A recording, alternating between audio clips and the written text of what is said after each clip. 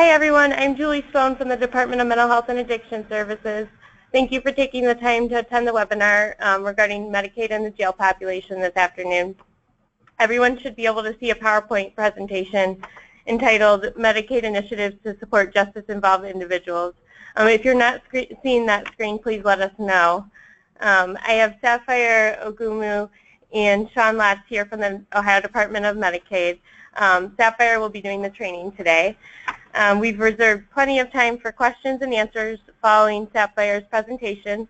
Um, so please mute your phones while she presents, and you may type any questions as they come up into the question box throughout the webinar.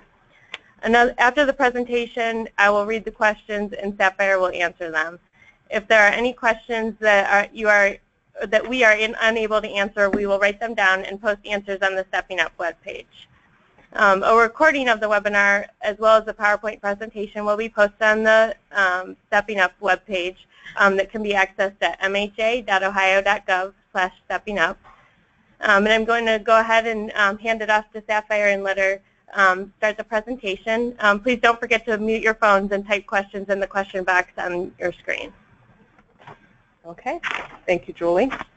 Good afternoon, everyone. Um, we're very excited to be here with you today to discuss the Medicaid initiatives that we have for justice-involved individuals. We had a recent policy change that took effect on 8-1 of 2016. This change in policy this change in policy allowed for incarcerated individuals to be eligible for payment of certain claims. The rule states that an individual is not considered an inmate of a public institution while he or she is admitted as an inpatient in a hospital, nursing facility, juvenile psychiatric facility, or ICF-IID. The Ohio Department of Medicaid currently has three initiatives for incarcerated individuals. We have our DRC inpatient hospitalization, DYS presumptive eligibility, and our DRC pre-release project. These initiatives are a collaboration between ODM and the Ohio Department of Rehabilitation and Correction, so we work with state prisons. But we will take some time to discuss each of these initiatives as some of our processes may be beneficial for use at the county level. First, we'll discuss the inpatient hospitalization initiative. The purpose of this initiative is to have inpatient and associated professional services covered by Medicaid for incarcerated individuals who are admitted to the hospital for 24 hours or more. Our goal is to shift the cost of inpatient and associated professional services from DRC, which is all state dollars, to Medicaid, which is a combination of state and federal funds. So Medicaid has agreed to cover the cost of the inpatient stay as well as the associated professional services. So what are associated professional services? They are services that are rendered during the inpatient stay. So for example, we have John who's incarcerated at Noble Correctional Institution. He's injured and must be taken to OSU Hospital. He's admitted for 24 hours. While he's hospitalized, John has to have blood tests, images taken, and is seen also by a wound care specialist. These are all professional services that are related to John's inpatient stay. So these services would be covered by Medicaid.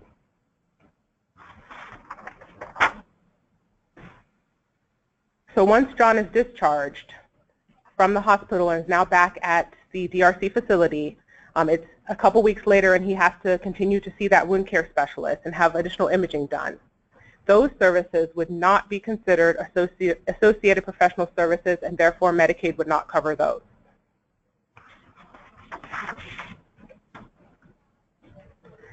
So the process that we have for enrolling individuals into Medicaid through our inpatient project it does um, require good communication between DRC and ODM. Um, DRC sends our unit, our direct enrollment unit, applications for individuals who are admitted to the hospital for at least 24 hours. Then the direct enrollment unit is responsible for processing the application. The case is housed in a special ODM caseload, and Medicaid will remain open for that individual for a year, just in the event that there's another inpatient hospital stay that occurs. Then after 12 months, we would complete a pre-termination review. If DRC requests another year of Medicaid for that individual, we would complete a renewal. But if they do not, Medicaid coverage will end. If Medicaid coverage ends for that individual and later on down the road, the individual has another inpatient hospital stay, DRC can just reapply and eligibility will be made. The other initiative that we have is with the Department of Youth Services. The purpose of this initiative is to provide youth who are in DYS custody Medicaid coverage upon release.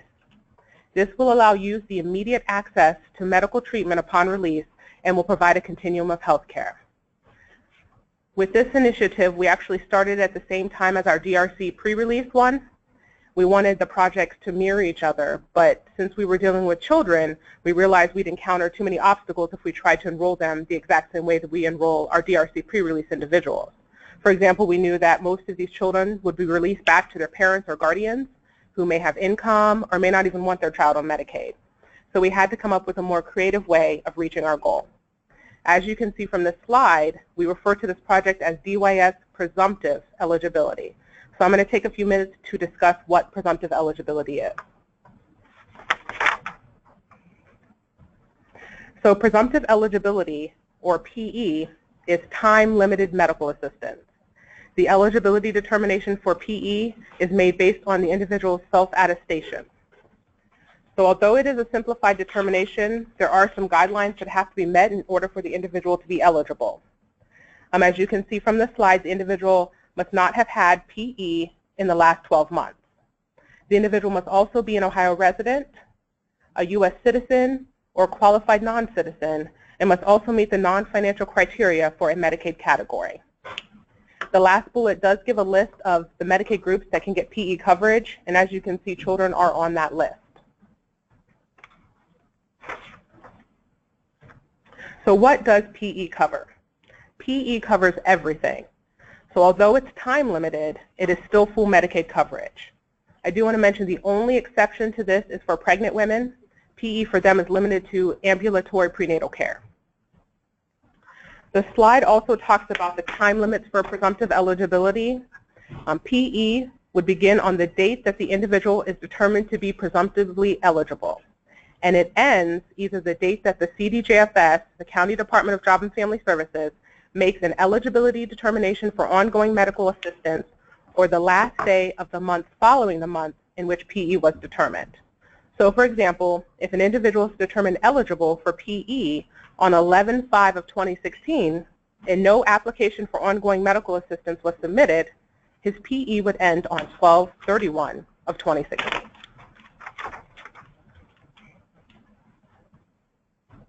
So once PE is approved, the qualified entity, or QE, will supply medication for the individual. And the next slide will discuss what a QE is. Um, but that QE gives that medication to that individual in order for them to be able to have immediate access to their care. Also, an individual that's on PE would not be enrolled in a managed care plan. Um, this is because that Medicaid coverage is time limited, but once the full application is sent to the County Department of Job and Family Services, and the CDJFS determines that that individual is eligible for ongoing Medicaid, then they will enroll that individual into a managed care plan. QEs are also required to take all reasonable steps to help the individual complete an application for ongoing medical assistance, or at least to make contact with the CDJFS.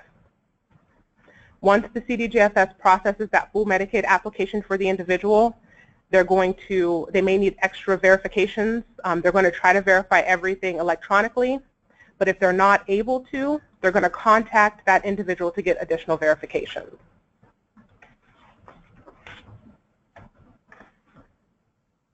So I did mention QEs quite a bit on the previous slide, so here is the definition of qualified entity. A qualified entity means the source of eligibility determination for presumptive eligibility. They are limited to the following. We have our county Department of Job and Family Services agencies, hospitals, DYS, federal quali federally qualified healthcare centers, or FQHCs, and our FQHC lookalikes.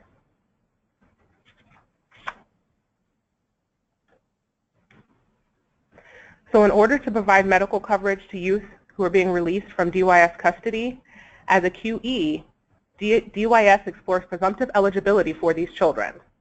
We're going to go through the process of how they explore presumptive eligibility on the next slide.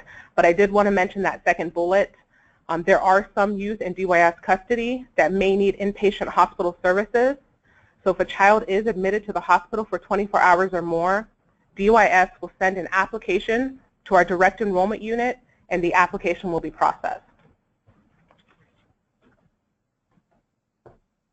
Okay, now let's talk about the process involved in getting children approved for presumptive eligibility upon release. DYS identifies children who are within a week of release from their custody. They log into the presumptive eligibility portal, and that's the system that's used to determine presumptive eligibility, and they approve that PE for that child.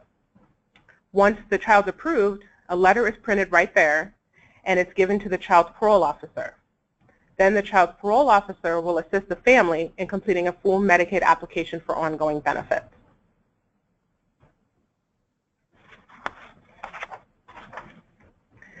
Our last initiative is the DRC pre-release project. Like DYS presumptive eligibility, the purpose of this initiative is to allow incarcerated individuals to have Medicaid upon release. However, unlike DYS presumptive eligibility, with pre-release, we're able to bypass that time-limited PE approval and skip right to the full Medicaid application. By doing this, these individuals not only receive Medicaid upon release, but they also are enrolled into a managed care plan. Our goals for this initiative are to provide immediate access to medical treatment upon release. And what's great about this is that these individuals are able to walk out of the DRC facility with a copy of their Medicaid card in hand with their release packet. So if they needed to go straight to the doctor or to the pharmacy, they'd be able to do that as soon as they step foot out of the DRC facility. This initiative also allows for a continuum of health care, so there's no gap in coverage from the time that the individual leaves the DRC facility to the time when they enter back into the community. And it's also our hope that this will reduce the likelihood of the individual reoffending and ending up back in DRC custody.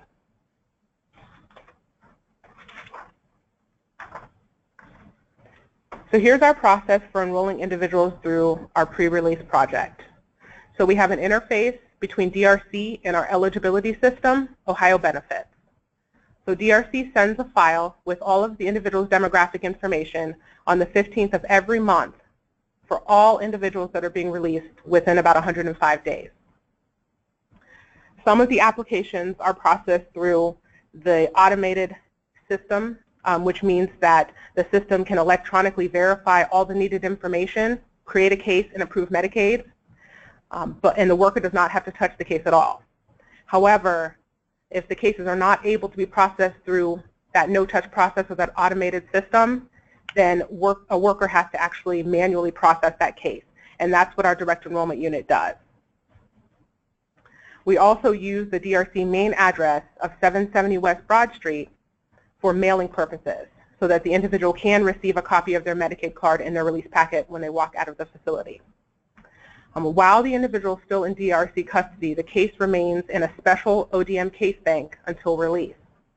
And then at the end of the month, um, prior to the release date, we update the individual's address. So we change that mailing address from DRC headquarters to the physical address where the individual intends to reside upon release and then we transfer the case to the individual's county of residence.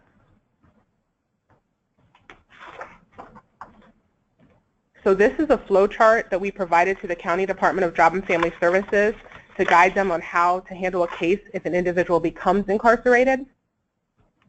Um, counties are notified of incarceration because there's an interface between DRC and Ohio Benefits, and that sends an alert to the caseworker um, so the county would know um, if they have an individual in their caseload that has become incarcerated.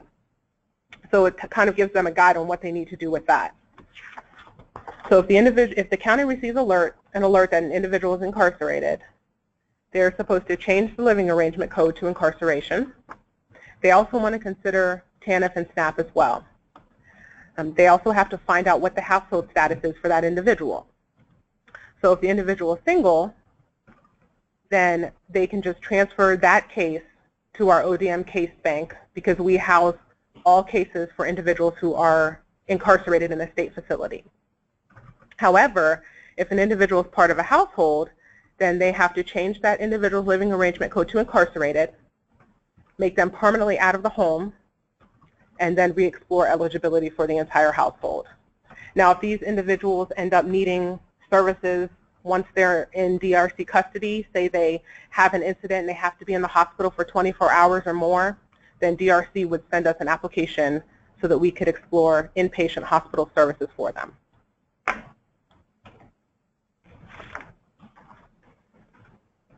This is another flowchart that we provided to the County Department of Job and Family Services to guide them on how to handle a case if an individual is being released. So we'll go through the flowchart um, so that you kind of have an understanding of what the county is doing for, for these individuals. So the county receives notification from DRC through that interface. The county performs upfront inquiry of the case to see what's going on with it, um, and they'll make appropriate changes to TANF and SNAP if needed. Then they have to find out, is the individual on Medicaid? If the individual is not on Medicaid, they need to find out, was the individual suspended because of ROMPIR, that reinstatement of Medicaid for public institution recipients? If yes, and they were incarcerated for less than one year, then they could reinstate that individual's Medicaid with no application. If they find that the individual had, was suspended through ROMPIR, but they were incarcerated for more than a year, then they know that they would need to get a new application for that individual. Back on that chart, if they find out that the individual was not suspended through ROMPIR, does not have Medicaid, then of course you need an application to explore Medicaid for the individual. Now, if the individual is on Medicaid, then the county needs to find out where is that case located. Are they in a county caseload or are they in an ODM caseload? If they find that the individual is in a county caseload, then all they need to do is change the living arrangement code, run the case, and continue Medicaid for that individual. Now, changing the living arrangement code from incarcerated to independent will allow that individual to have a full benefit plan for Medicaid. If they find that the individual is in our ODM caseload, then they have to email our direct enrollment mailbox, which is the um, email address that's provided there in that box, OMA enrollment at medicaid.ohio.gov. And then here, we at ODM will make changes to the living arrangement code, make them independent, update their address to the current address that they're residing in, and we will transfer the case to the appropriate county. And as always, we let the counties know that they can feel free to email our direct enrollment mailbox if they have specific questions about cases or any um, DRC individuals. If they're running into any issues, they can feel free to email us and we will assist them. Okay, so now we'll discuss a little bit about county jails. Um, there's no longer any limitation in enrolling in individuals who are incarcerated into Medicaid. So jails can now work with their County Department of Job and Family Services to determine a process to submit applications for Medicaid. Uh, Medicaid applications for offenders can be processed either to pay for inpatient claims or to coordinate care upon the individual's release. Um, ODM, our direct enrollment unit, we are not managing any county jail caseload. Um, we are just managing the state caseload. So it's very important that you communicate with your local county department of job and family services to ensure proper enrollment and case management. Um, I also wanted to mention that we've already discussed this with all 88 job and family services offices through a video conference that we had last month. So they're aware of the need to form that close relationship with their local jails and sheriff's office in order to successfully implement the enrollment.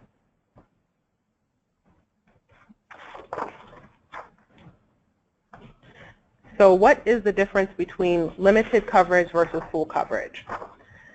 So if you have an individual that's not being released, still in jail, but an application is submitted for that 24-hour inpatient hospital stay, the Medicaid coverage would be limited. It's only going to allow for inpatient hospital services only.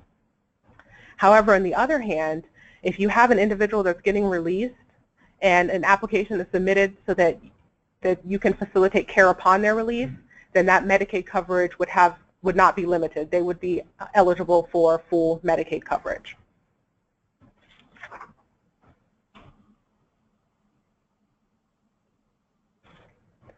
So we're going to go through a couple of scenarios that we went through with the counties. Um, this kind of gave them a guide of how to handle cases. Um, we couldn't get specific with every case because each case is different, but we were able to give them a, a few scenarios to help guide them. So in our first scenario, we have Tony, who has been sentenced to 30 days in the county jail. We, the County Department of Job and Family Services, in order to properly update his case, they need to do nothing. They should leave his case as it is. Um, this is because by the time the limited benefit plan would take effect for Tony, he would have already been released. It's such a short-term stay that um, it would actually be a disservice to him by the time he got out and he would have that limited benefit plan instead of the full Medicaid plan that he would need. In our second example, we have Betty. She received a five-month sentence to be served at the local jail. Her case should be updated by changing the living arrangement code to incarcerated, rerunning the case to give her that limited benefit plan, and then of course that case would still be housed with the county. Um, as I mentioned, we didn't give the county a definition of long-term or short short-term for the length of jail sentences since each situation is different. So we've advised them to assess the situation and communicate with the jail so that they can determine what's best for the individual and what's best for the county.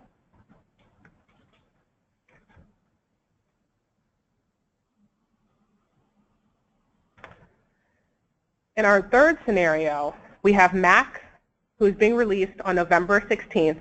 I do want to mention the date would be November 10th, the date that he is um, submitting in the application um, and being released on the 16th. So date he submitted the application is the 10th. He's being released on the 16th.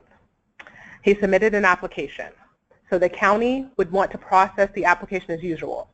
They would want to give Mac an independent living arrangement, run his case, and give him that full benefit plan. Um, even though he submitted the application a few days before he was getting released, we're trying to facilitate care upon release. So in order for that to happen, the county would need to go ahead and process his case and keep his living arrangement code as independent so that he could get that full coverage. In our, first, in our fourth example, example, we have Tori. Tori submitted an application on November 1st, but she's not scheduled to be released from the county jail until April of 2017. In this case, the county should process the application based on Tori's current situation. Her living arrangement should be incarcerated so that she can have that limited benefit plan. And then the county, of course, would keep the case in their case bank. I do want to note that the jail would want to communicate with the County Department of Job and Family Services just to inform them of Tori's release date to ensure that the month that she is released, her living arrangement can be changed back to independent so that she can receive full Medicaid coverage upon release. Now, in the event that Tori does not get released, and she has to be transferred to a DRC facility, the county would then transfer Tori's case to the ODM case bank and we would manage it there until she was released.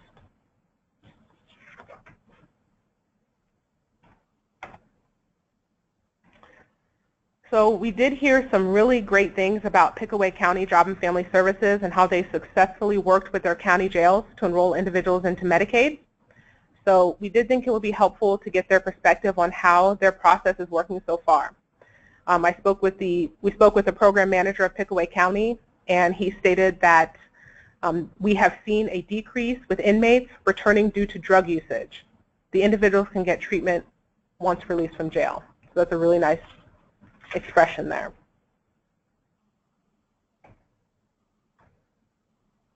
Pickaway County also provided some insight into their processes and gave some advice to other counties trying to implement the enrollment of jailed individuals. So we asked them a few questions. We asked them, what are your processes for communicating with county jails?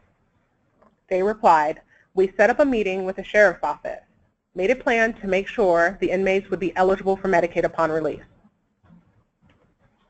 We also asked them, what are your best practices? They stated, the Sheriff's Office sends me a roster once a week with the inmates that will be eligible for release. I travel to the Sheriff's Office, have them complete a paper application. Once the application is completed, I come back to the agency and complete the process. Once I get them approved, I then email the contact worker at the sheriff's office with the billing number for the individual.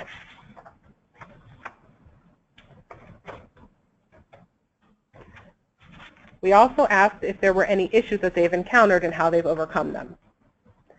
They stated, I have not encountered any issues so far. We began this process at the beginning of this year. Seems to be going smoothly.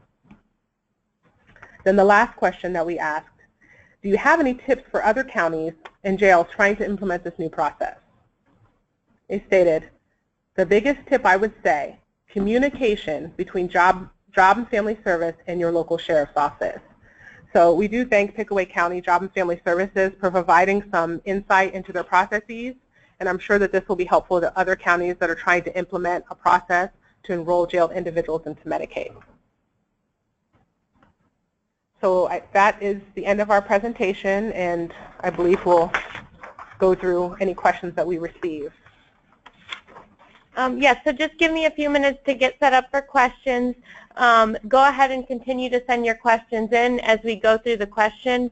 Um, we'll, we'll hit yours at the end, so I'm doing them in order of um, when they were submitted.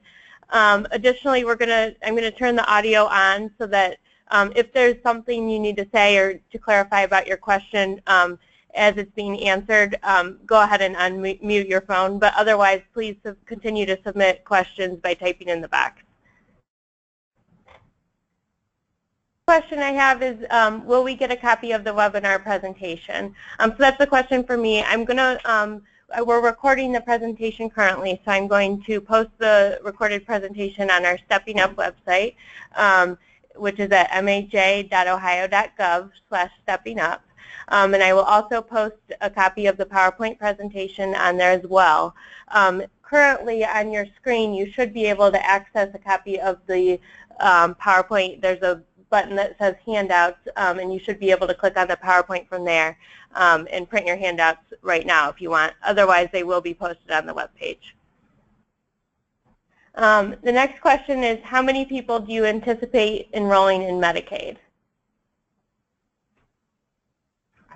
Hi, this is Sean Lotz with the Department of Medicaid. So I'm going to assume your question means uh, how many incarcerated individuals in county jails would be uh, placed onto Medicaid. And that all depends on how many applications would be submitted. So um, the whole idea is recently the federal government provided some guidance that said that we um, could pay for inpatient hospital claims. So that kind of precipitated the work that we've done with the Ohio Department of Rehabilitation and Correction, um, trying to pay for their inpatient claims. And then we extended that so then we could try to coordinate care for offenders that are being released back into the community to cut down on recidivism. So once we had the processes worked out for the Ohio Department of Rehabilitation Correction, we started getting some contacts from different counties, commissioners, uh, sheriffs, jail staff, and they want us to extend this. So we had to kind of work out a way to do this. Um, as Sapphire told you, the processes we have with the Ohio Department of Rehabilitation and Correction are coordinated between that department and the Ohio Department of Medicaid. With the county jails, we're really encouraging the county Job and Family Service Departments and the county jails to meet and discuss a process to get these applications submitted and processed timely. Keep in mind that um, it would be very easy for um, uh, people in the sheriff's departments, uh, in the jails, to assist people to apply for Medicaid online or to call the uh, Ohio Medicaid Consumer Hotline to uh, get assistance in completing an application. That wouldn't be sufficient though. The volume of applications we get throughout Ohio are pretty high, so county job and family service departments are pretty busy. If you submit an application through a traditional route, either via the phone or a paper application that you mail into the county or online, chances are those will be in the regular queue with all the other applications. It could take 30 days to process that, and then we can't coordinate the care for an offender as they're released to the community. And if you're working or living in a metro county, the time frames for eligibility could be higher. So it's really important that uh, staff at either jails or uh, sheriff departments make contact with the JFS um, try to come up with a process, as Pickaway County did, where you can submit applications and have an assurance that they will be completed timely or in time for the consumer to be released. Um, the next question, will clients have active Medicaid when they enter jail? Um, maintain, or when, will clients who have active Medicaid when they enter jail maintain their Medicaid while in jail, or will their Medicaid be terminated when they are incarcerated? Okay, and that's a good question. So uh, Sapphire did mention at one point the ROMPIR program, so I'd like to talk a little bit about that. So uh, I've, I've talked to numerous people in different types of um, occupations here about the ROMPIR system lately. Um, so the most recent question I had is, well, Ohio just went to a suspension state, right? And that's not actually the case. So the way ROMPIR works is if you're in the community on Medicaid and then you become incarcerated, up until we started these initiatives, meaning like up until about six months ago, then the county would have to go through a driver in our eligibility system and suspend the Medicaid. Now, suspending Medicaid works just like discontinuing or stopping Medicaid, that we no longer pay for claims. But the reason we did this was assuming the offender was released back in the, into the community within a year, then we wouldn't need a new application to reinstate that Medicaid. So the key point there is one year.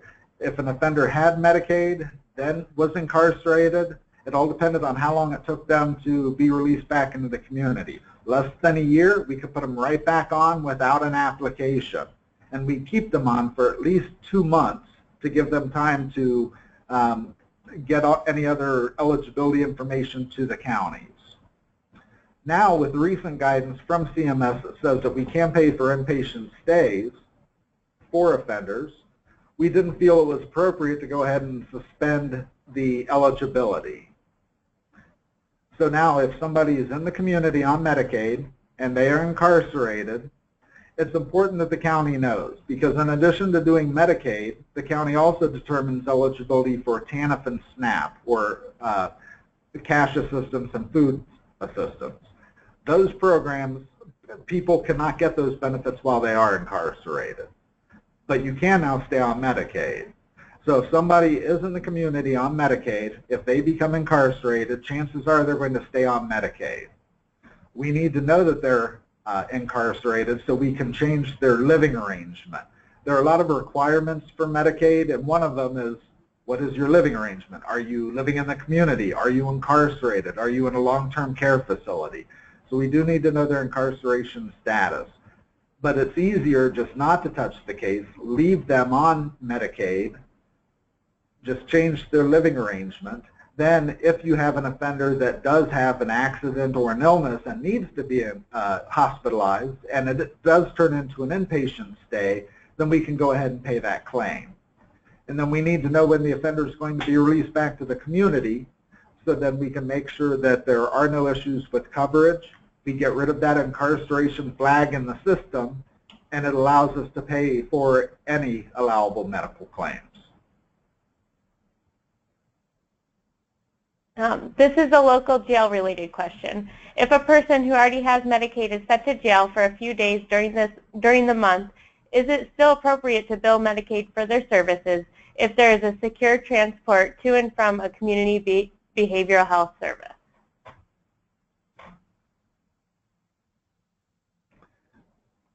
I don't believe we pay for transportation, but that's one we want to do some research and get back. If that was a question about transportation as you read it. I, I think the question um, is can they bill, so if they're transporting a client that's in, in jail for a few days to a behavioral health facility, can they bill for those behavioral health services even though they're in jail? So that I want to, I'll need the question in writing and we will do some research and get back to it. Okay, so I'm going to go ahead and write down this question, um, and then um, I have the person that um, submitted the question. I can email an answer to them and also post it on our um, Stepping Up webpage along with the presentation. Um, the next question is, can community mental health centers meet the definition of FQHC lookalikes?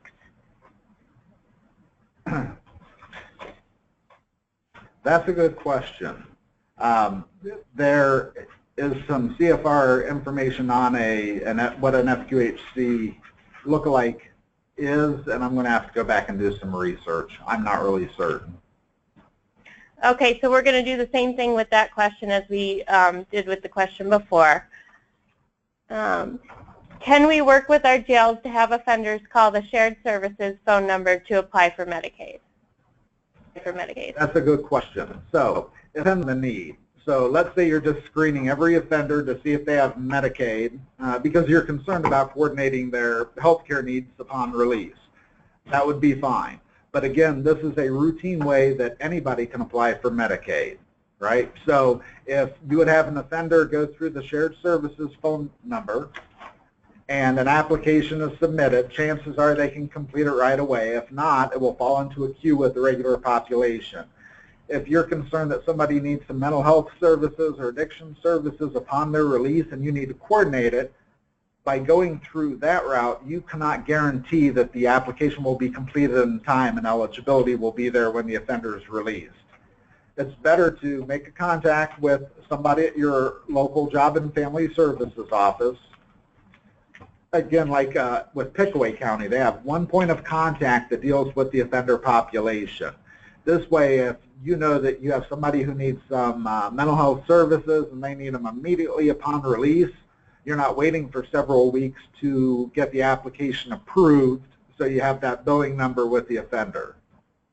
So it's better that you make contact, have some kind of way that you can submit an application right to the agency and they know it is for uh, the jail population. And it's good to know, keep in mind when we talked about what they do at Pickaway County, so the county JFS gets information on the release date as well, so they can kind of coordinate the eligibility determination to sync up with that release date.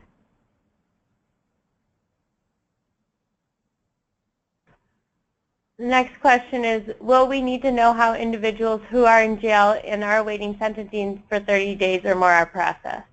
Yeah, and I don't have the rule with me rough hand. I'm sorry. Um, our rule does talk about if somebody is, be, is being held um, uh, while they're awaiting their sentence. So we can get you that information and get it out to you as Julie has said.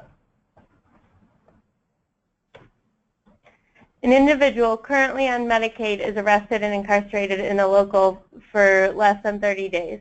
To participate in Vivitrol protocol, they will need labs, assessments, and nurse visits Uh, to start the protocol. Will Medicaid cover these expenses? While somebody is incarcerated, we cannot cover those expenses unless they are admitted to a hospital as an inpatient for a reason associated with those tests.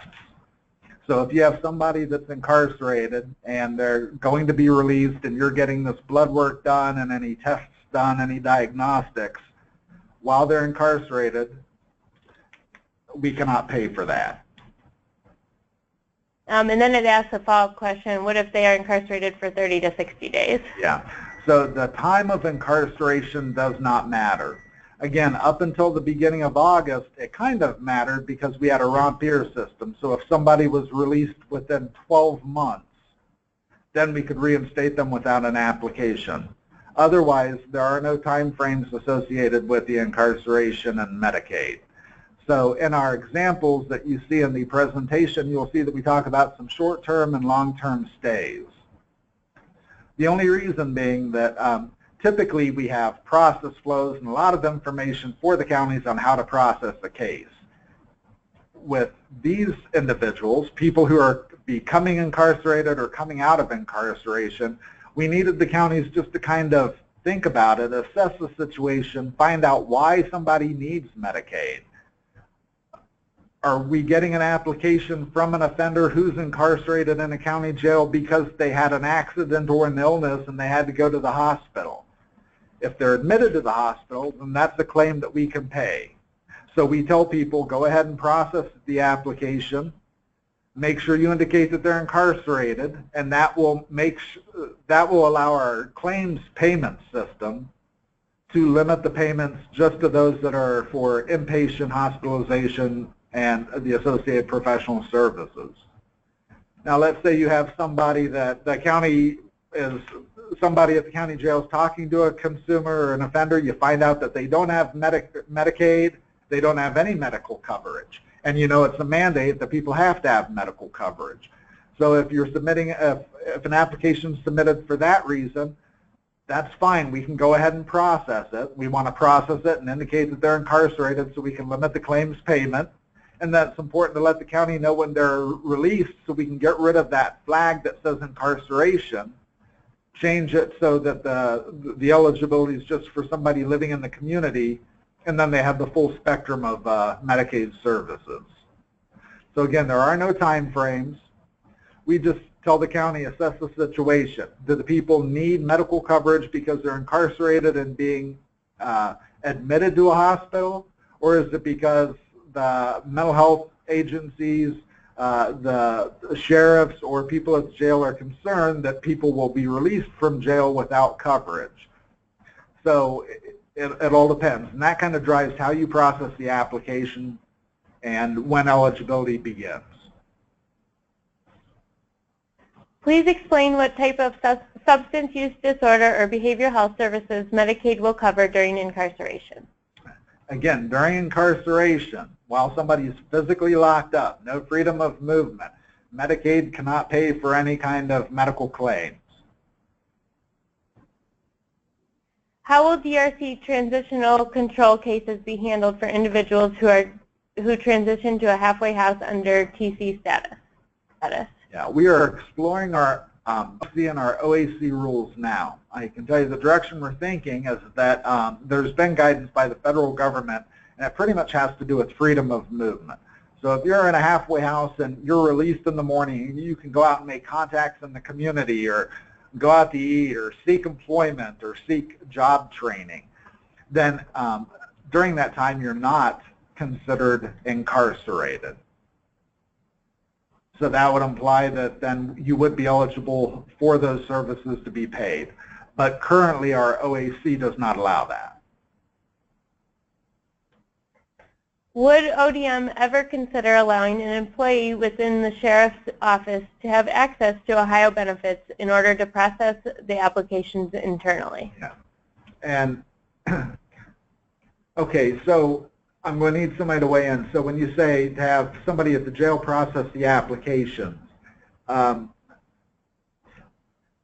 so to get access to Ohio benefits, um, to, to the worker portal where you process applications, you pretty much have to be a, um, a county employee at this point.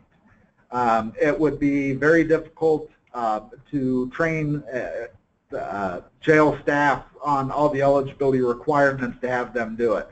Um, I, I, do know of some counties that have staff from JFS that are outstationed in jails, and then they work there to process applications. And, and then if you're, and the reason I need some clarification because I could also take this to mean, could you get access to the system so you could submit applications for processing? But I'm not sure that's the best way to do this with an offender population when you're trying to make sure that care is coordinated upon their release.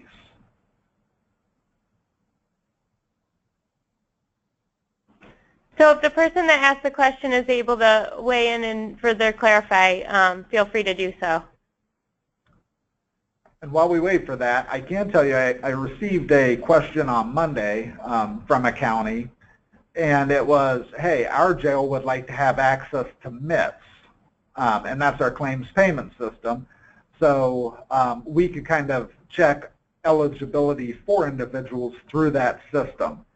And um, I can tell you that you can go to the Medicaid um, website and there's a, uh, up across the chevron up at the top, there's a tab that says for providers and it talks about requirements to become a Medicaid provider.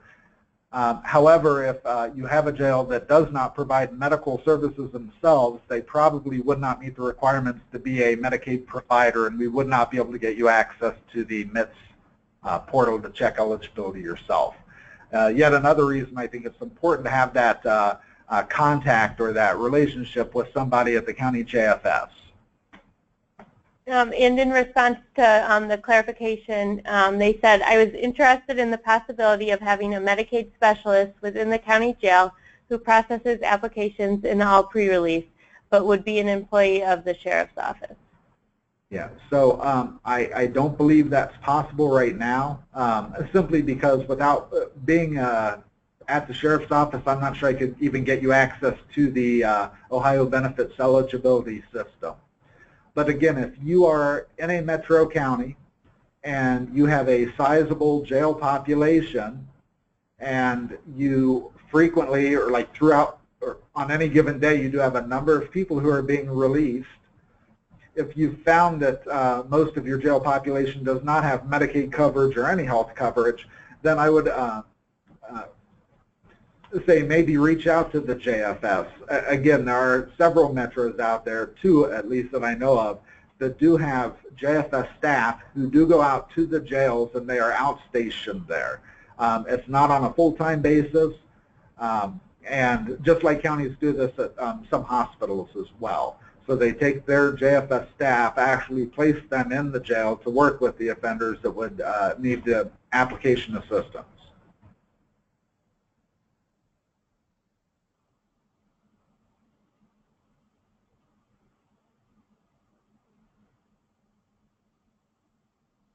The next question is, do these changes apply to youth incarcerated in county detention centers rather than a state DYS facility? So with the, all right, so Sapphire kind of detailed how we take care of the DYS population that's coming out of custody or coming into custody and getting them onto Medicaid for any kind of inpatient hospitalization. If you have um, children that are working through county jails or DRC, uh, meaning they're being tried by uh, as an adult, I'm assuming, then we cannot use the presumptive eligibility model we use with DYS, and the facility would have to um, submit applications however they decide to with the county as they would with a regular county jail or DRC population. Is a jail inmate on work release eligible for regular Medicaid or restricted coverage? And again, so if you have somebody who's incarcerated but they're on work release, so they are they do have some freedom of movement. Um, again, we are uh, exploring changes to our OAC um, to include that language. So in this situation, once our OAC changes, or if our uh, policy director puts out a Medicaid eligibility policy letter in the interim, then we could cover these people on full Medicaid and not just inpatient hospitalization. Are youth at community correction facilities, which are ran by DYS, also eligible under the DYS PE initiative? I, I, and that's a good question. So, and I think we need to go back and talk to our peers at DYS for that. So I'm not certain. I haven't heard anecdotally that they are working with these facilities, but I would have to go back and check. Okay, so, so I'll flag that question um, so that we know to get back to you. Um, much of your talk was around the inmate or around inmates with a projected release date. Approximately 60% to 70% of our inmates are released without a release date. My question is the 24-hour rule. If an inmate is not enrolled but has a hospital stay over 24 hours, does the hospital contact Medicaid to start the coverage process? How does that work? So the hospital would not be responsible for contacting the JFS or Medicaid to get an application submitted or claims paid. So you can submit an application after the fact. So let me give you an example. You have somebody who's incarcerated, um, then there is an accident or an illness and they are taken into a hospital and subsequently admitted. So at this point, they may not have Medicaid. And I'm assuming that when they're admitted to the hospital, um, you're going to be talking to a, a, billing specialist at the hospital because the hospital will know that you'd be on the hook if the person didn't have coverage, including Medicaid. Um,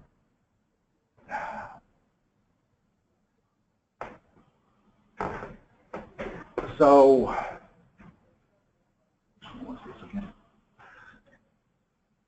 yeah, so you have somebody who is admitted to the hospital. Let's say they're in there for 48 hours. Two days later, they come back to the facility and they're incarcerated again. At that point, you can go ahead and submit an application and uh, the county JFS can process it for eligibility. It's important, though, that you have that relationship with the county and you've met with them and you have processes because very, especially if uh, an, an inpatient stay in a hospital happens near the beginning or end of a month, you have to coordinate to make sure that there's coverage for the dates of service for the hospitalization. So, and um, the best way to do that is to have somebody at the county that you can contact and tell them, hey, we just sent an application for this offender. Um, let me give you some date examples. So you have somebody who is released, uh, or I'm sorry, incarcerated in November of 2016. And then on the, let's say, uh, what's today, the 30th? Let's say that they are admitted today. No, let's make it the 29th, yesterday, for and for 24 hours, and then they're released back in the facility today. So they were incarcerated in November. So it's okay on December 1st or 2nd or 3rd or even the 30th to go ahead and apply for Medicaid to cover that hospitalization. It's important, though, that the county knows what the dates of service were, because in this case, where you have somebody admitted to a hospital one month and then you're applying the next month, they're going to have to backdate that eligibility to cover November. So it's just important that in addition to getting an application to the county for somebody who's admitted to a hospital, um, it's also imperative that they have the dates of service so we can make sure that the full hospitalization is covered.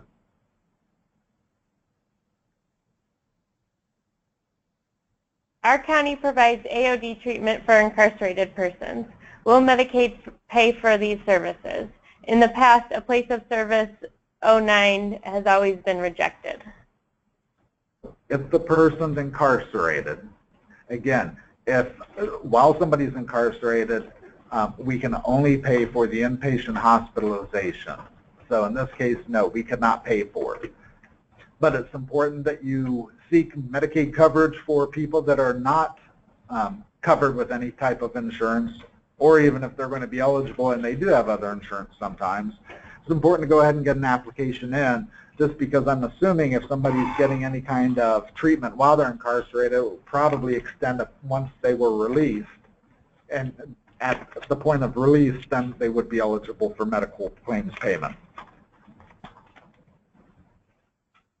Um, and somebody asked, um, thank you for the information. Can you email an electronic version of the PowerPoint presentation? Um, as I previously noted, um, you can actually access the PowerPoint presentation currently um, by clicking on the hand, handouts portion of the screen.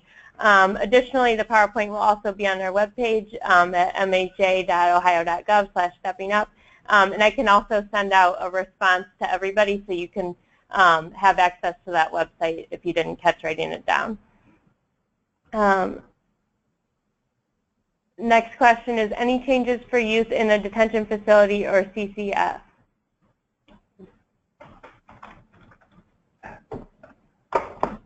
So, any changes? Uh, that one I'm not certain what we're getting at. I can't even kind of drive what the question is, so. So whoever submitted that question, if it still hasn't been answered, um, as we've discussed youth um, in the previous questions, um, please submit a new question and then we'll get to it as we go down.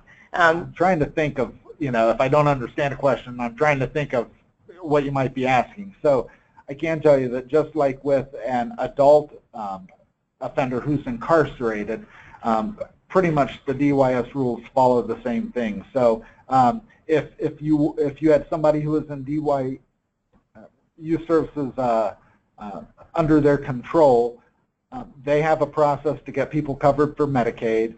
We still will only pay for inpatient hospitalization if somebody is under their control, and then we do have the the ability to do the presumptive, so we can quickly cover them for when they go back um, under the control of their parents. So when we talk about any changes, kind of, I, I think it's safe to assume you can think of a youth pretty much just like you would an adult offender, if they are incarcerated, there is no eligibility for claims payment except for the inpatient hospitalization. But the reason we like this program is we're trying, in addition to covering inpatient hospitalization, just making sure that when people are released from your facilities, then we can't get them access to care immediately. And again, so anybody could be released from jail, or even while they're in jail, if they have access to either a phone or a computer, go ahead and apply on their own.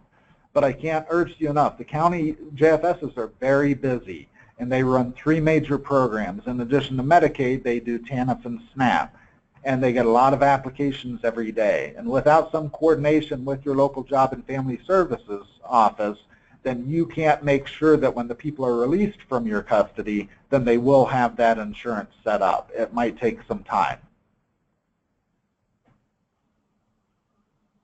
For county jail timeframes, is there a cutoff point between applying for the limited versus full benefits? If 30 days, it remains the same. For five months, it's limited. What about someone there for three months? What is the cutoff point? Right. There is no cutoff point, and there are no time frames. And it's hard to get used to this.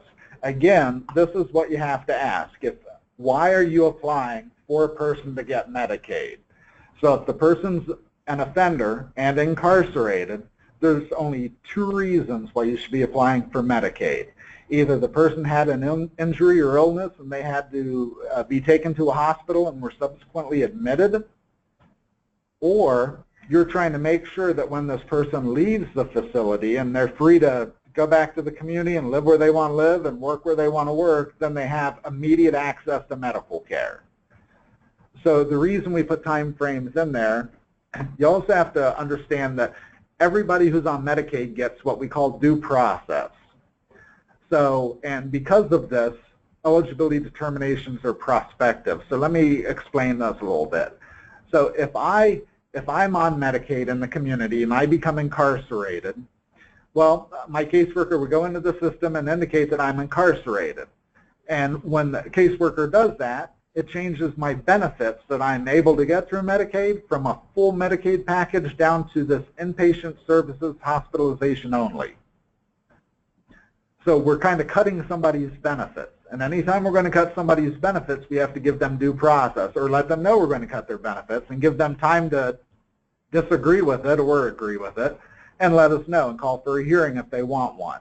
So a lot of times, anytime that we make a determination, it doesn't take effect right away. So forget about the time frames. the whole idea is why are you applying for Medicaid?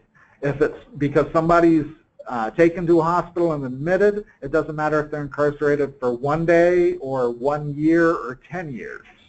You got to get the application into the county, make sure the county understands that the person is incarcerated but they were admitted as an inpatient, and it's imperative that they have those dates of service from when the person was admitted at the hospital.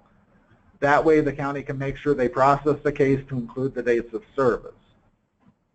Now, if somebody is being uh, or applying for Medicaid because their release is imminent, then it's important that the county know when the person will probably be released so they can get the eligibility completed prior to that time and then the person leaves the facility with Medicaid coverage and can get access to care.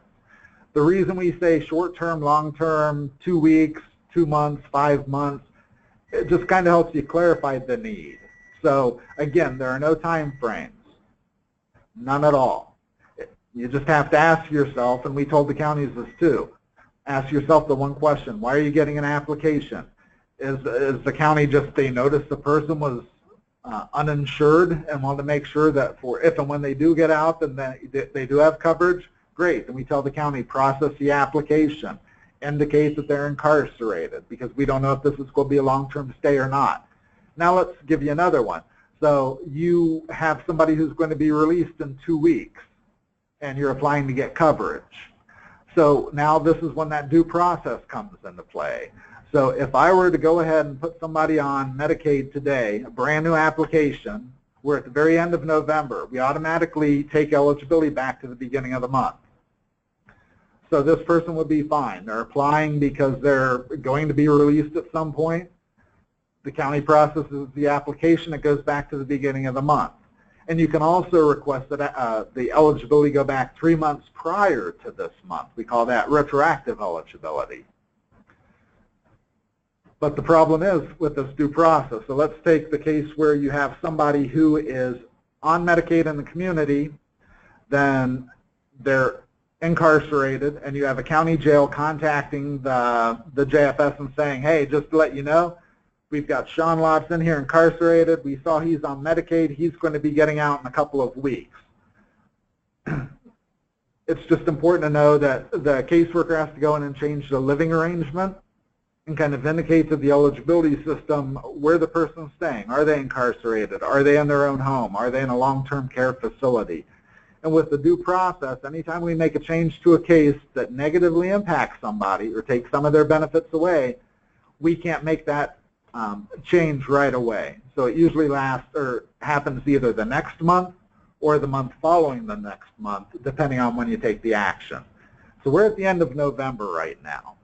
So if I would try to make a change to somebody's case and take away some of their benefits, if I was notified today by a jail that somebody was incarcerated and this person already had Medicaid coverage in the community, so for me to change them to incarcerated in the system, once I process that through, in order to give somebody this due process time to call for a hearing if they don't agree, I can't really start this um, change until January 1st. So if you were to contact the county right now, today, and tell them that Sean Lotz, me, is getting released from jail, so you want, or, uh, wait, that would extend it. If, uh, if you're uh, telling the county today that I became incarcerated, I tried to change it in the system, it won't even take effect until January 1. So that's why we're telling counties, hey, if you have somebody who gets picked up because they're DUI and you know they're not going to be in there for a month, perhaps you don't even indicate incarceration on the case. You have to use your best judgment, figure out why we're getting the application. And it's going to be one of two reasons. Because somebody was admitted to a hospital or because you're trying to coordinate their care for when they're released.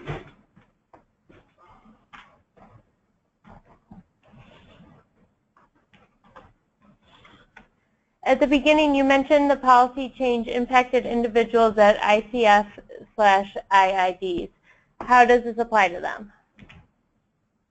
So if you have somebody that is incarcerated, they're ended up taken to a, um, a nursing facility or an ICF IID or a hospital, and if they're admitted to one of those facilities, then they're no longer considered incarcerated. And they are eligible for claims payment. Anything for 12-day holding jails? Um, all right, so forgive me, I'm not really sure what a 12-day holding jail is, but I don't think it really applies. So if you have somebody in a 12-day holding jail and their freedom of movement is limited, then they're incarcerated. Um, Medicaid will not pay for any claims while they're incarcerated, except if they are admitted to a hospital or a nursing home or an ICF IID. In that case, then they're no longer considered incarcerated. We could pay for that inpatient stay.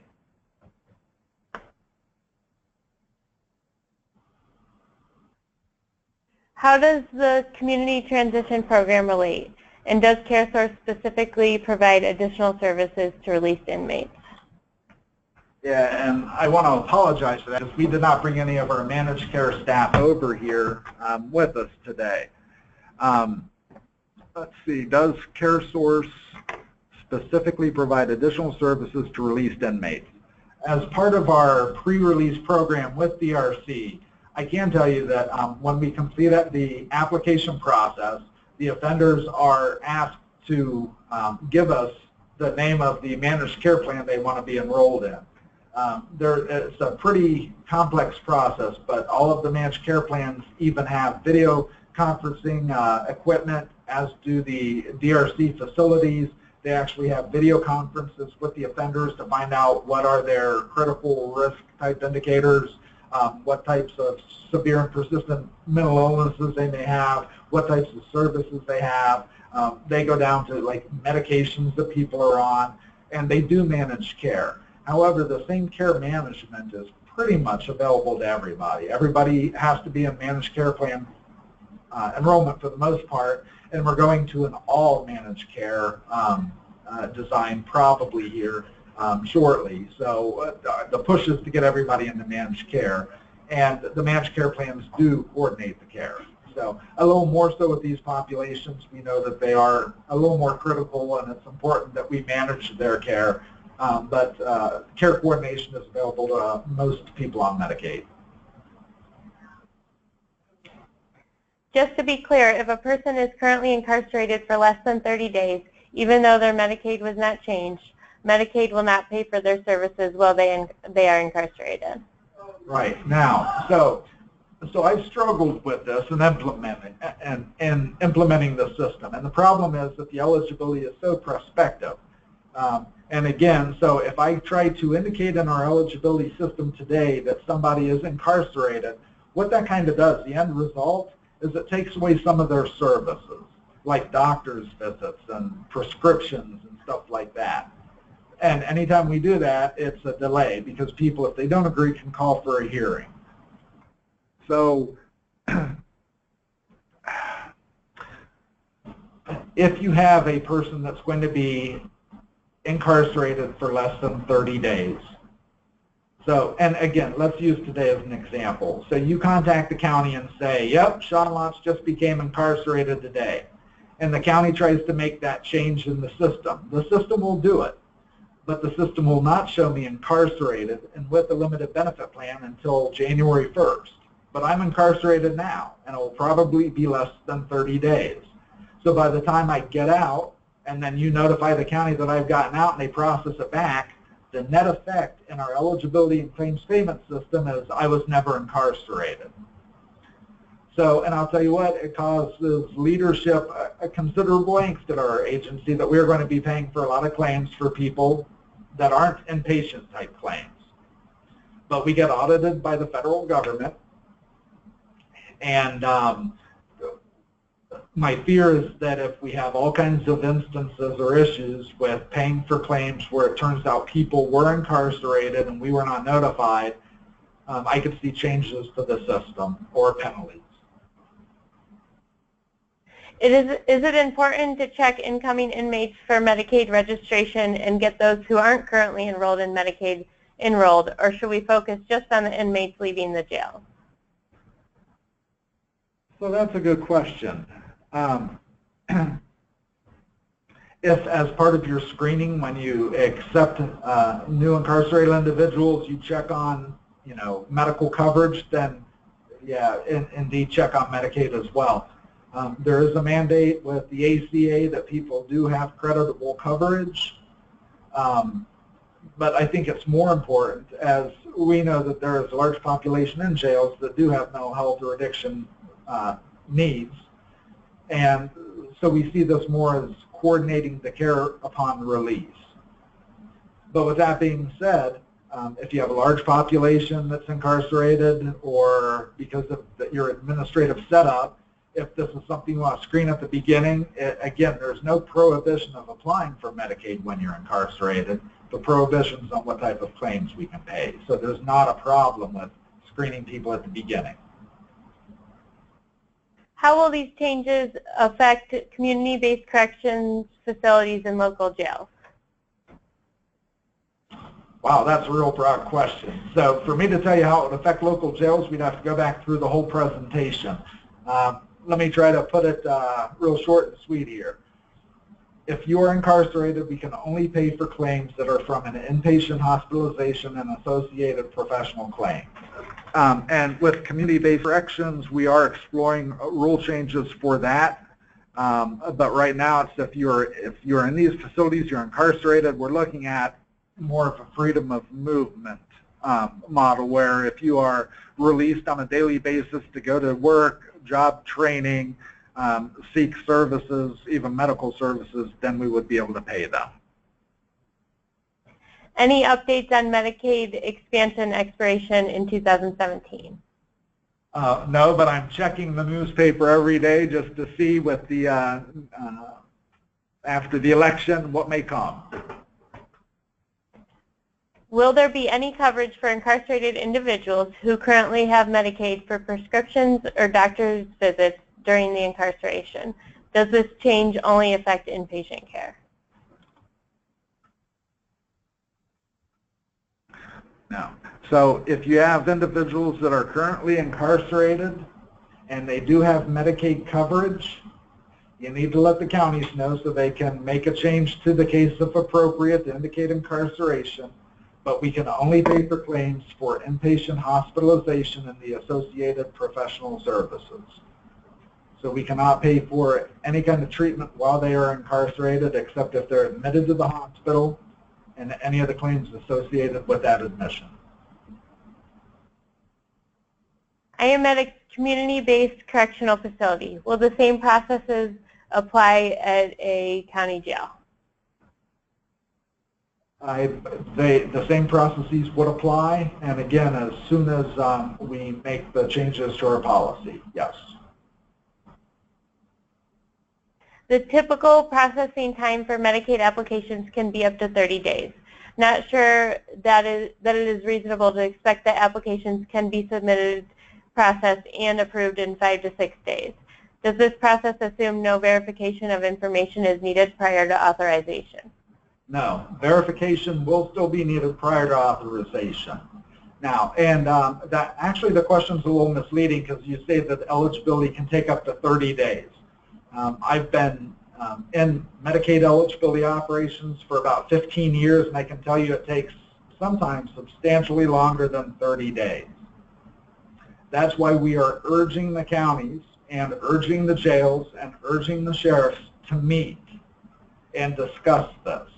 If you try to submit an application through normal means, like going to benefits.ohio.gov or calling the shared services number or calling the Medicaid consumer hotline at 1-800-324-8680, any of those means, you're right. Your, the application for this offender will be in a normal queue. You have no control over how long it will take to process. We've trained the counties on this, and as we discussed in the presentation with Pickaway County, it would be in the consumer's best interest and your best interest to reach out to the JFS. Maybe they provide a point of contact. Maybe they have another solution.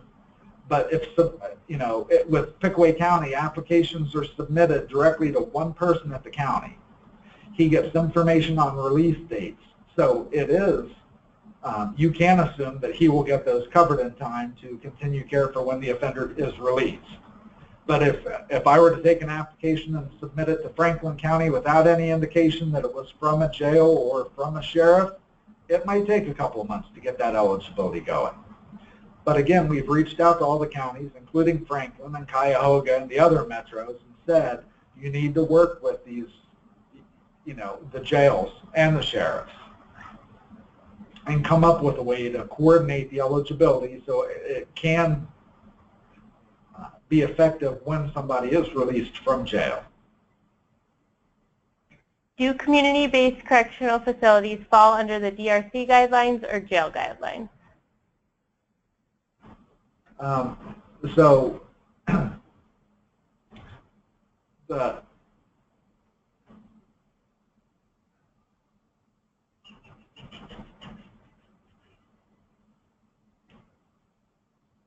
I'm not certain. Whoever wrote this in can, um, so whoever wrote this question, I'm interested, are you working at a community-based correctional facility?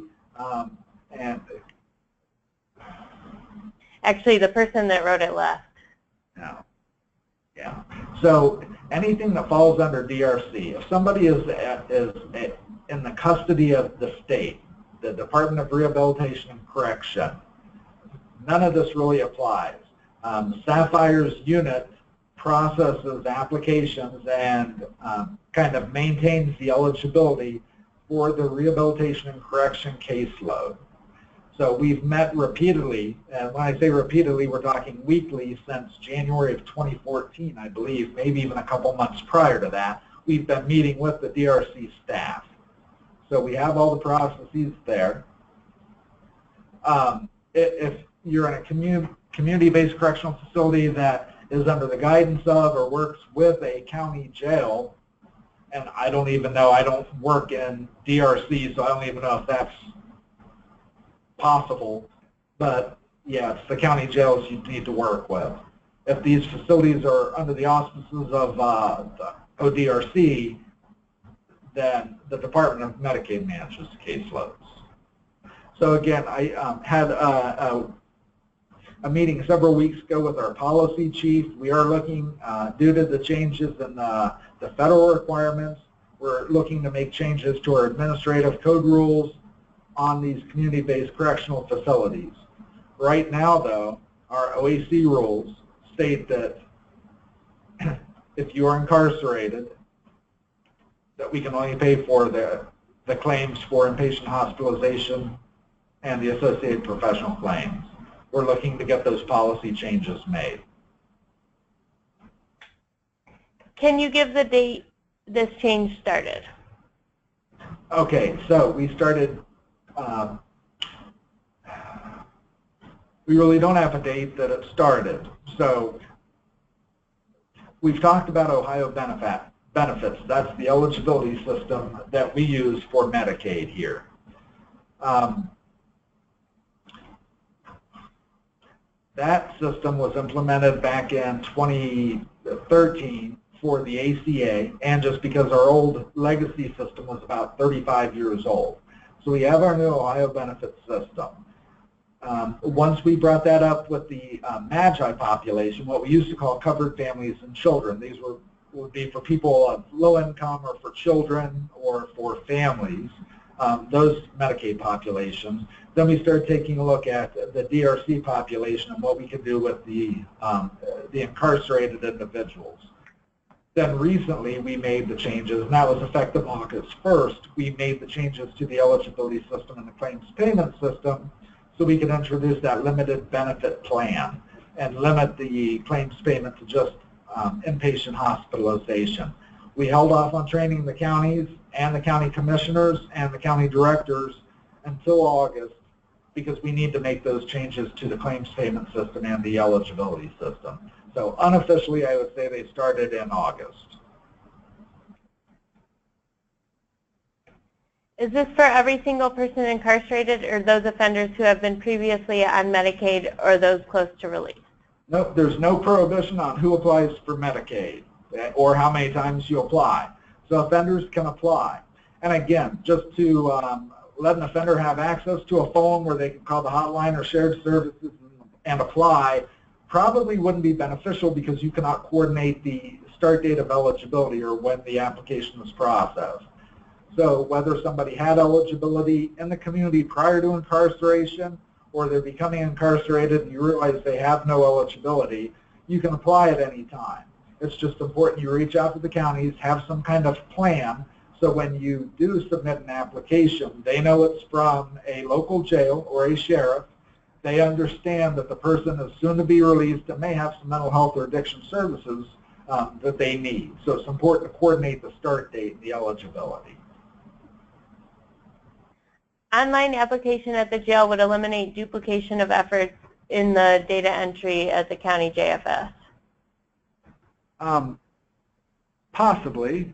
And, uh, oh, I see, uh, it looks like this is from a Medicaid uh, uh, employee.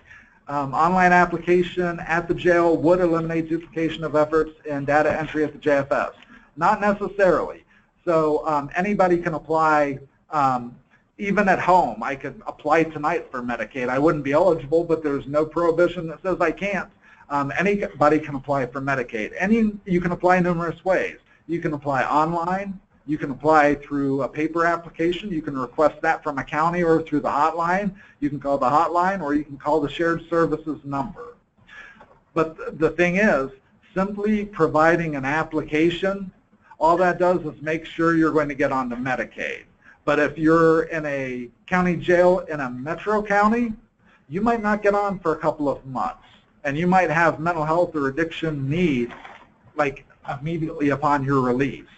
You can't coordinate that unless you have that dialogue with the county and have a way to submit these applications where they know they're from you and they know that the timing is critical to make sure that we can keep recidivism down by getting people the services that they need. If an individual is incarcerated short-term, such as less than 30 days, in a county jail, will Medicaid reimburse for outpatient AOD services provided to that individual? if those services are provided outside of the jail? Medicaid cannot pay for any medical claims for people who are incarcerated except for inpatient hospitalization of at least 24 hours and then the associated professional claims. What is the process for those who are sentenced to prison for a year but eligible for an early release after 60 days? The individual is brought back to the county jail and granted the early release.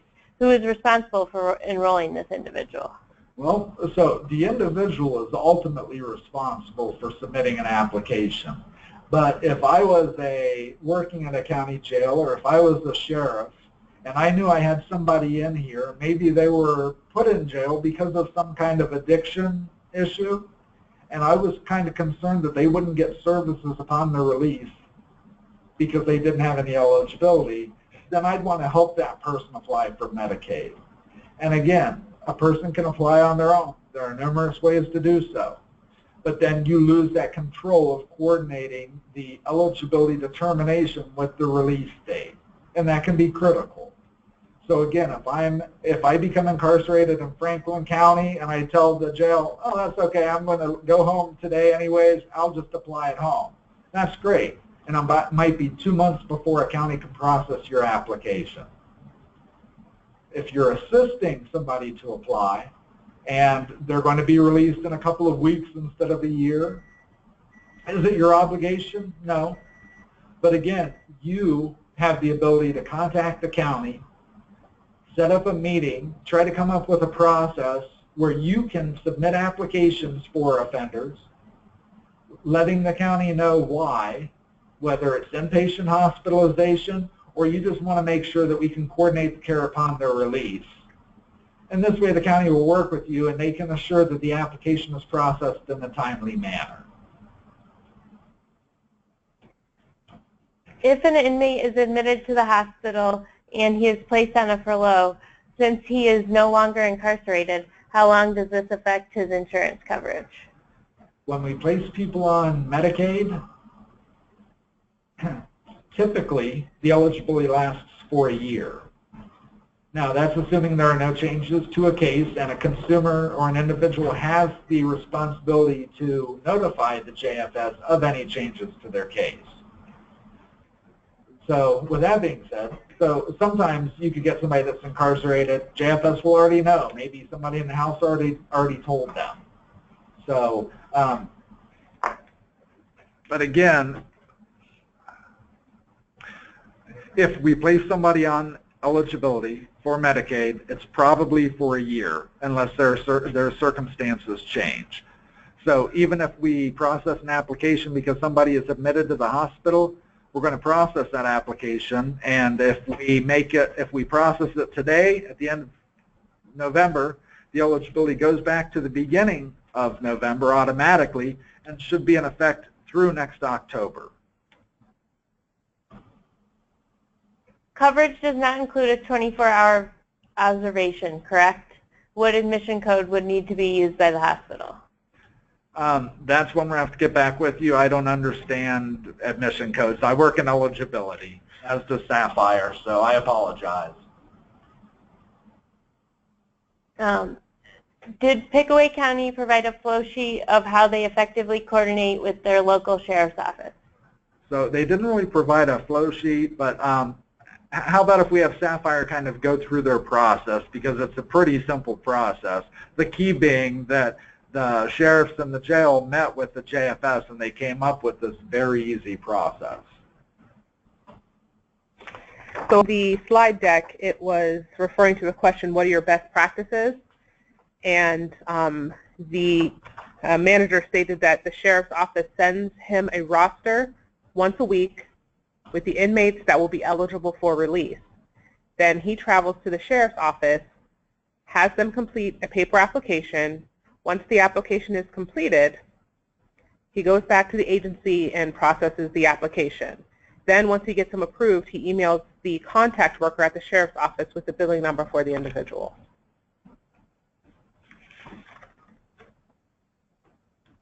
So it seemed like it was like too short a process really to flow it out. When the offender is released back to a family who is already receiving assistance or do not or does not qualify, are these family members included on the case, which could then affect eligibility?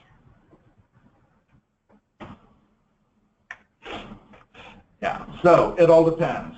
There are different circumstances. You could have an individual that is in the community on Medicaid with a family, becomes incarcerated. Then we can indicate that the person is incarcerated, change their living arrangements, and go ahead and process the case again. When they're released, we would just change that living arrangement back in the community and then have them rejoin the family's case. The eligibility of an individual, or I'm sorry, um, yes, income and other circumstances of an individual can affect the eligibility of the rest of the family. However, most of the individuals that we're placing on Medicaid because they're incarcerated are not age blind or disabled, and our policy around those programs just changed, but it's because they are either part of the extension population, meaning they're single adults without dependents, um, uninsured, and up to age 65 so we can put them on our Medicaid extension, or maybe their parents are caretakers or former foster children, so uh, some of the MAGI groups. With the MAGI groups, it's important to know that you don't have to be, we define a household a very specific way. And it doesn't mean who's living under a roof. Um, it has more to do with um, how taxes are filed and who, uh, who you claim when you're filing taxes. But yes, we do have to consider the family, even with while they're in jail, we do have to consider the family circumstances. And it's important to let the counties know if you are a jail or a sheriff out there, um, if you have people that are in our system and they do become incarcerated, again, um, incarceration also affects food stamps or SNAP and Ohio Works First or TANF, however you refer to those programs. Is it possible that the county process could support not only application and approval for Medicaid pre-releases, but also election of a managed care company like the ODRC pre-release program? Um, I don't have anybody managed care here, um, but and currently you are um, enrolled into Medicaid, and then we send out information and you select a plan. I know there are changes that we are considering for managed care enrollment at Medicaid, um, but at this time, I, I, don't believe we'd be able to really do that. However, um, the, the Ohio Con uh, Medicaid Consumer Hotline, I'll give you that number again. It's 1-800-324-8680 is also the managed care enrollment um, contractor. So calling that hotline, they can assist with the uh, managed care selection.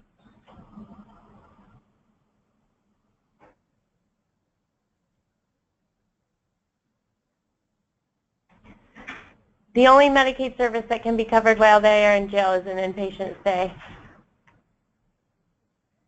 Correct. Are youth on Medicaid able to continue to use, continue to use their Medicaid while they are incarcerated in a locked facility? No. If, if somebody is incarcerated, again, so uh, yeah, if somebody is incarcerated, we're going to pay for inpatient hospitalization only. There are no other services that we will pay for incarcerated individuals.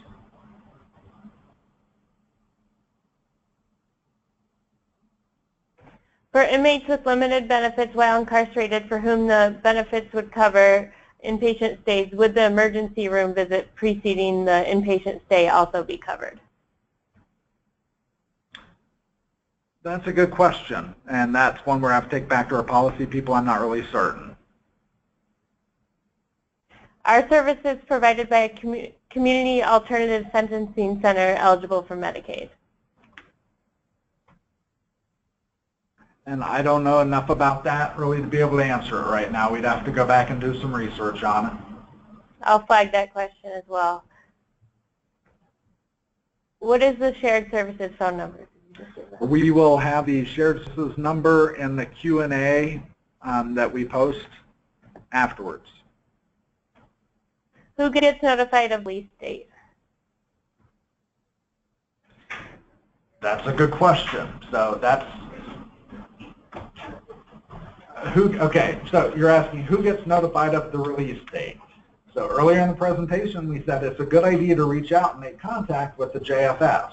So it really, you don't know until you reach out and make contact with your county JFS.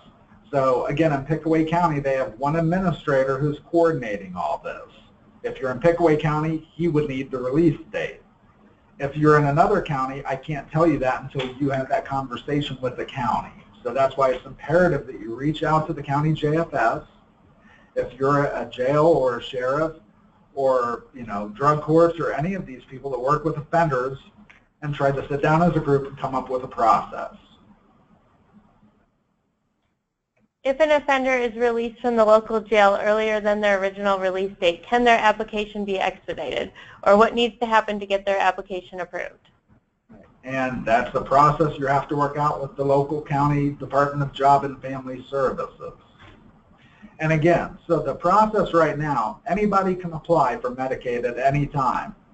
And once an application is submitted, the county will process it. I can tell you that the county's processed a lot of applications. We're telling you that it's really important that you meet with people at JFS and try to come up with a process where you can let them know that, hey, an application was submitted. Here's the individual's name or social security number, and they're about to be released, and they have some mental health issues that we are concerned about. This way the county knows to process the case, maybe pull that case and process it more timely. Again, the counties are very busy. They get a lot of applications for a lot of different programs. Sometimes we'll take an inmate to the hospital where the hospital will hold them for more than 24 hours for observation, but not admit the inmate. Are these situations allowed to be billed, for, billed to Medicaid? Medicaid will pay for incarcerated individuals when they are admitted as an inpatient for more than 24 hours, and we can also pay for the associated medical claims.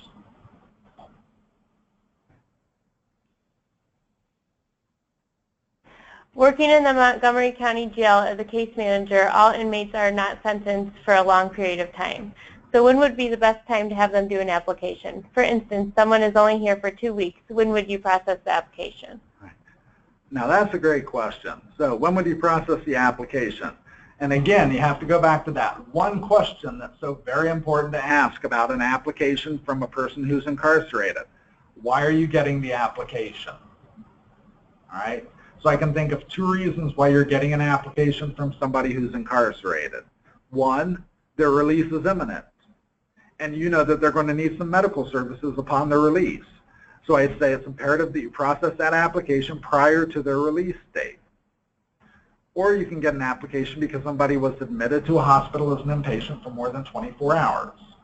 In which case, it doesn't matter when you submit or submit the application, technically, it's imperative that you put the dates of service when they were admitted on the application. Now, there's no place for that on an application. Another reason to meet with your county JFS people, and they might say, hey, use paper application, you can fax it to us, and you can write the dates of service right across the top. Maybe they say, hey, send us a spreadsheet of all the people being released with the release dates, and then we'll look for the applications as they're submitted electronically.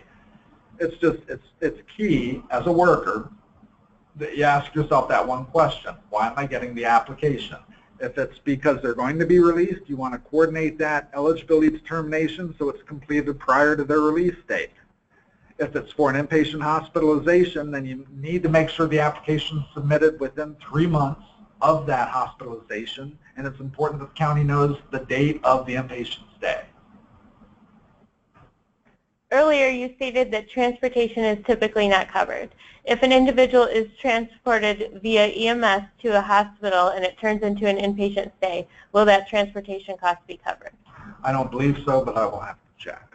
So I'll flag that question and we can post it. Um, what about offenders to electronic monitoring? Those individuals were treated just like anybody out in the community. So they would be eligible for um, that full benefit plan. Does Medicaid require pre-certification for services when an inmate is admitted or hospitalized for over 24 hours? And I apologize for that one. It's not an eligibility question, so we can take it back and get a response. I don't believe so, but yeah.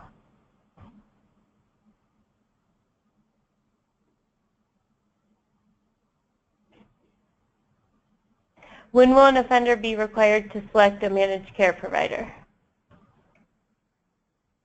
Um, So, again, I expect some changes in the managed care area at some point here uh, with Medicaid, but currently, once you're enrolled in Medicaid, um, a short time after that, you receive some information about uh, selecting a managed care plan. So it's, I'd say within a month.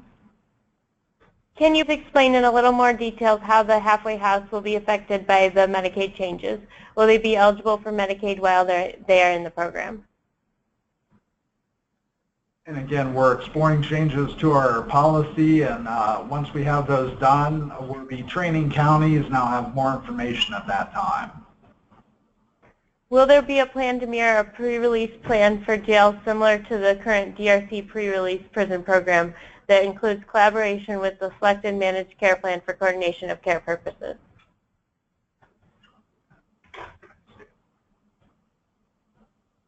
Um, Not that I'm aware of.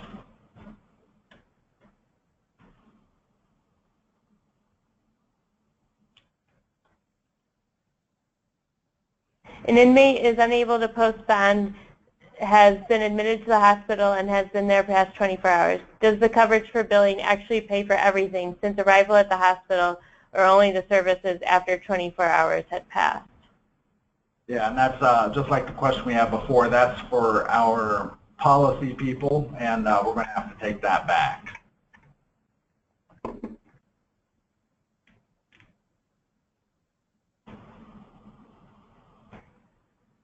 Managed care plans such as CareSource are refusing to pay for incarcerated inmate care when hospitalized outside the jail unless the jailed inmate has been in jail less than 15 days.